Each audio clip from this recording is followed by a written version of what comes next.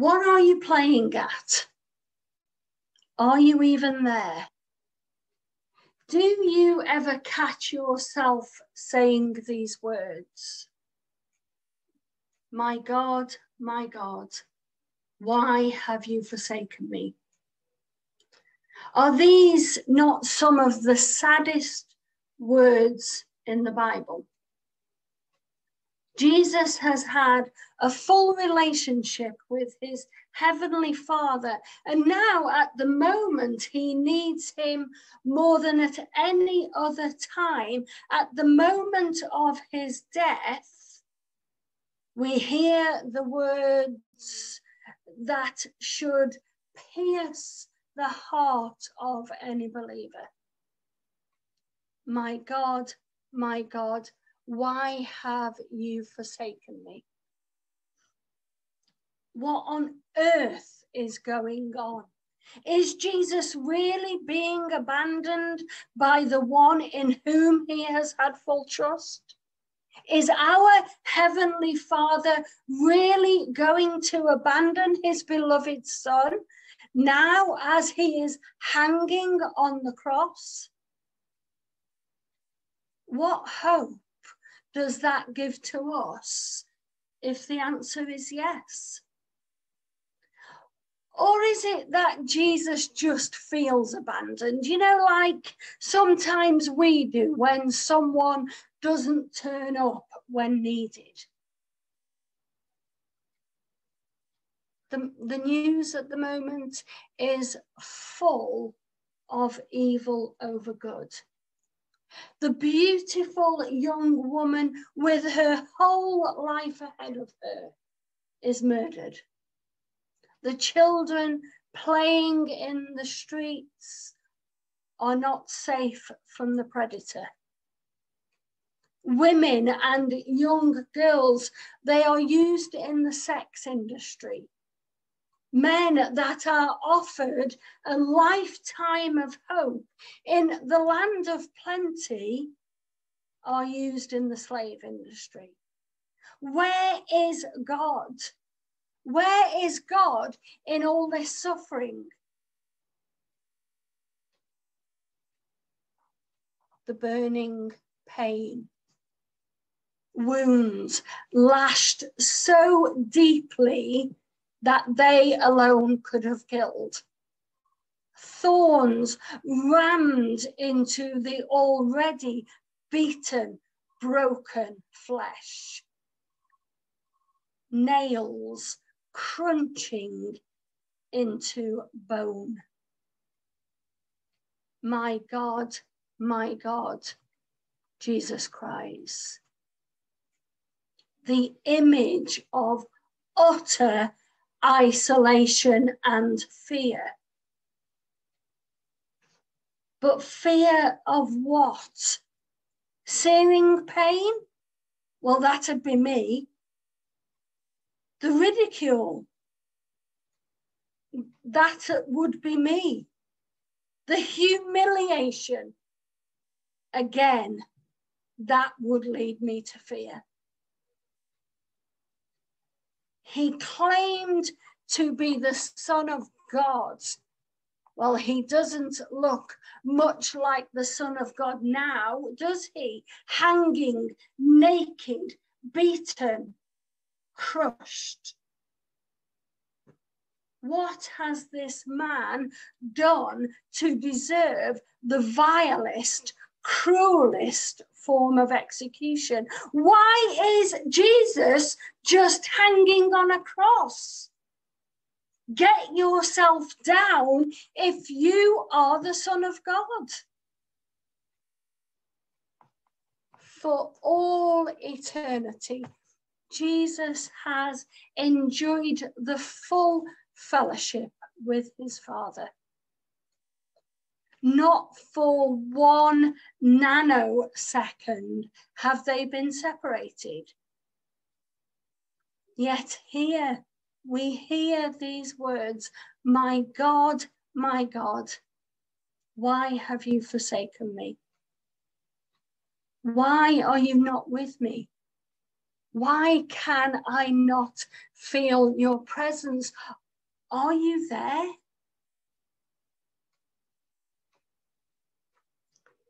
Jesus, he must hang on that cross. He must hang on that cross with faith. Jesus doesn't have to believe in God. No, in this moment of crisis, he must believe God. Even when the suffering seems too much to bear, Jesus must cling to what he knows to be true that God is always good.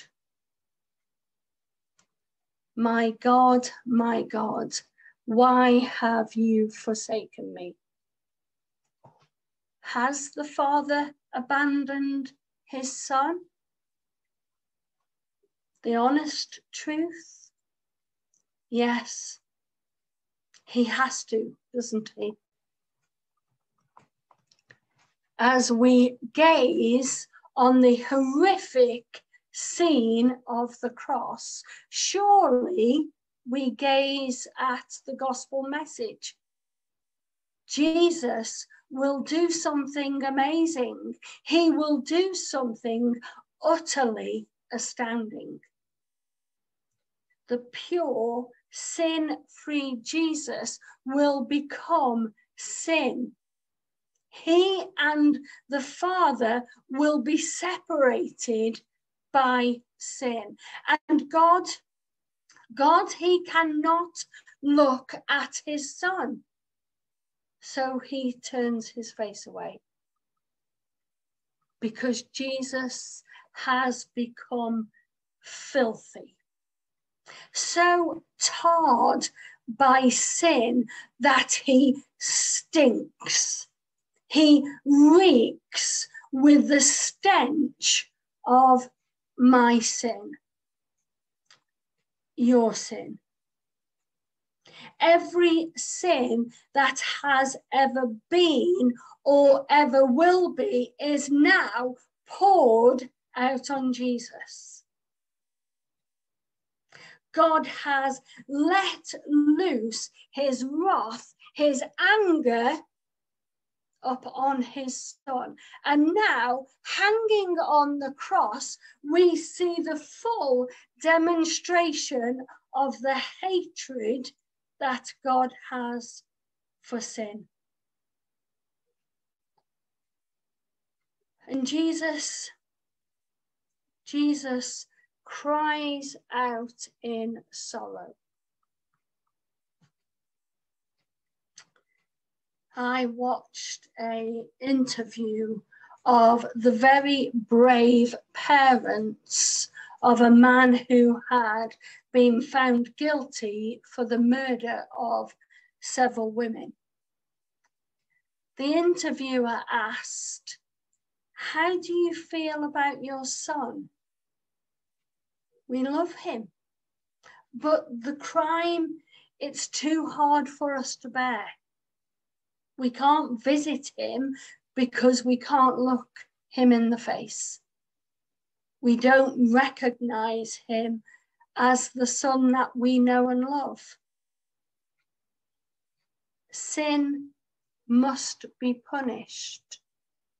Here in front of the Father is the Son hanging on the cross, drenched in sin.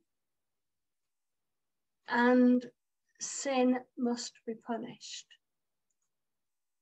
even when the circumstances suggest that God is not good, Jesus cries out in faith, My God, my God.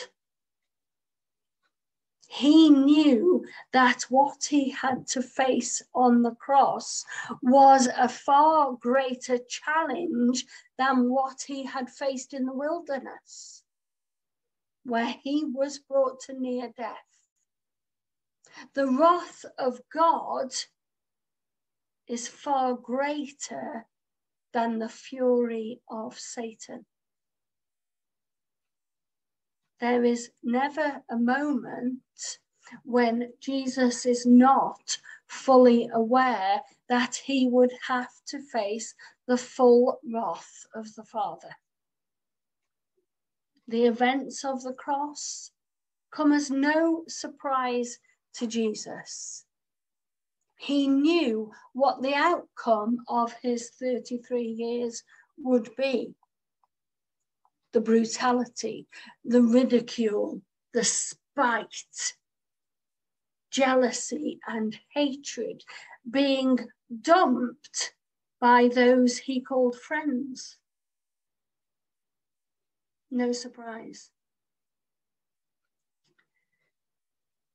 You know, I was going to write down some of the things that I know are my sins.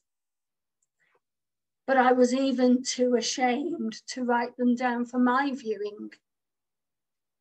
The words I speak, the, the sorts of TV programs I watch, the jokes that I laugh at the sins that play their part to Jesus crying out, My God, my God, why have you forsaken me?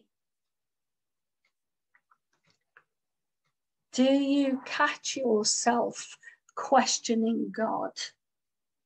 Where are you, Lord? Why the suffering? The children in the third world? Cancer, dementia, death. Why, Lord? Jesus has this moment in time where, in his suffering, in his hour of need, his fellowship from God is momentarily separated.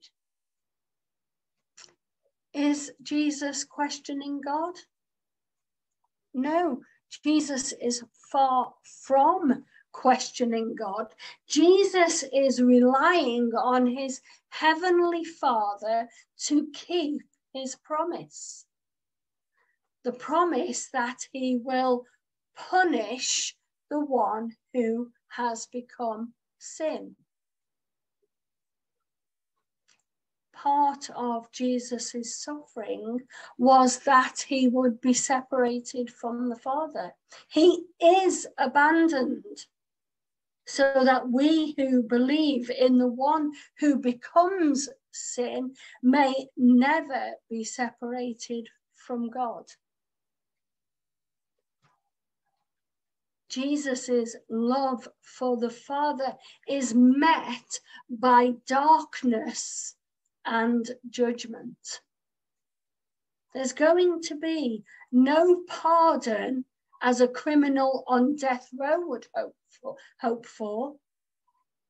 The Father has poured every sin on him, and Jesus is going to willingly suffer the consequences.